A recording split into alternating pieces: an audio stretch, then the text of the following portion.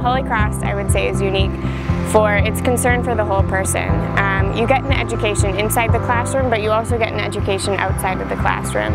Um, whether that's through extracurricular activities, immersions, places even off campus. Um, they really are, when they say, um, you know, cura personalis, they really do mean um, concerned with the whole person, and, and I think that's what's important to Holy Cross students' development.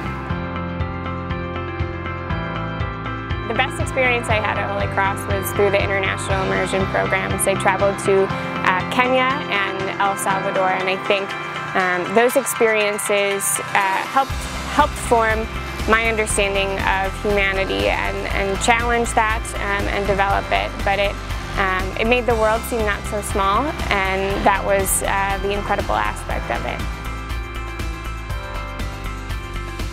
Came to Holy Cross having an idea of who I wanted to be, but I didn't know how to achieve that. And I think Holy Cross has given me the opportunities to grow into the person that I wanted to be. Um, and that's a person who uh, is always curious, always wants to learn, um, but has developed values and beliefs that fit who I am. After graduation, I'll be moving to New York City and working at Goldman Sachs in their Human Capital Management division.